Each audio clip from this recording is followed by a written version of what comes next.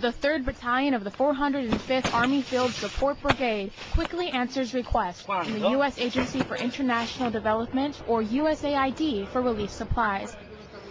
Personnel that is very well trained, they know exactly what to do. They they move fast, and always we are we are on time. According to USAID, United Nations agencies estimate up to 70,000 people in the Republic of Georgia need humanitarian aid.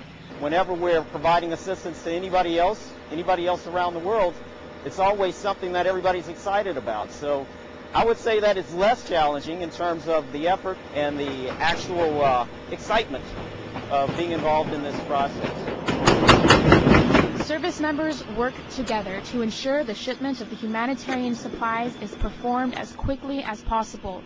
Whatever the mission is, whatever the requirement is, we just try to do it to the best of our ability, whether we're going to someplace safe or someplace that might be a little more dangerous. 405th AFSB quickly and effectively respond to the immediate distribution of humanitarian supplies to the crisis region of Tbilisi, Georgia. Specialist Krista Finley, Pisa, Italy.